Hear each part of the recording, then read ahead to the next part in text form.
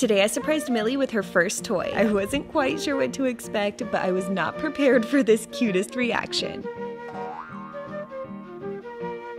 She was really interested in the green apple scent, and I think she was a little confused on whether the toy was the ball or the box. Either way, we were off to a good start. Millie loves to observe and be involved in everything I do. She's always by my side to offer a helping hand, even if it's just giving kisses of encouragement or just being cute. Except when she doesn't realize she's trying to push me off the ladder.